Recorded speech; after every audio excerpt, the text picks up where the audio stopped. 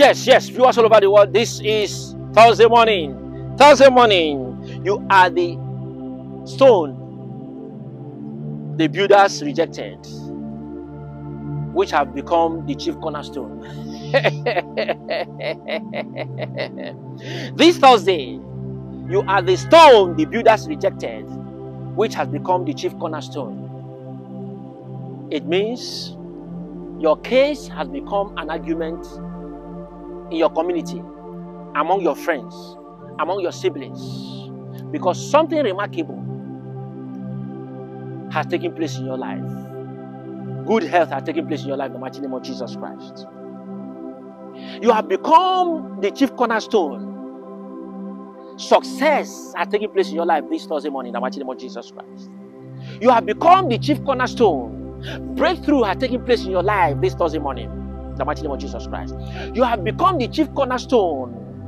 You have become the chief cornerstone. You have become the chief cornerstone. A stone that was rejected but now valued in the community, in the society.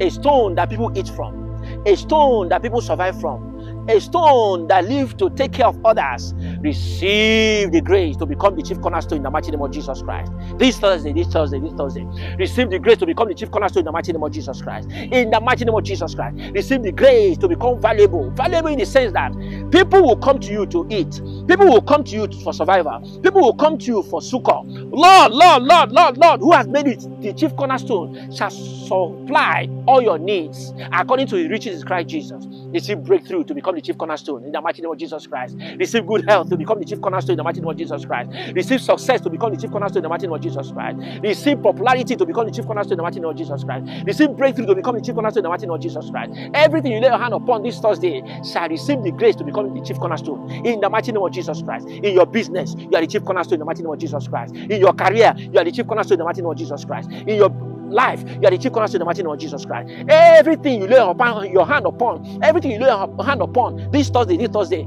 shall receive the breakthrough, uncommon breakthrough that comes from the resurrection power of Jesus Christ. In the name of Jesus and the blood of Jesus Christ. Remember, you have become the stone the builders rejected, which has become the chief cornerstone. When I say chief cornerstone, I mean you have become so valuable that God cannot afford to lose you It's a special grace.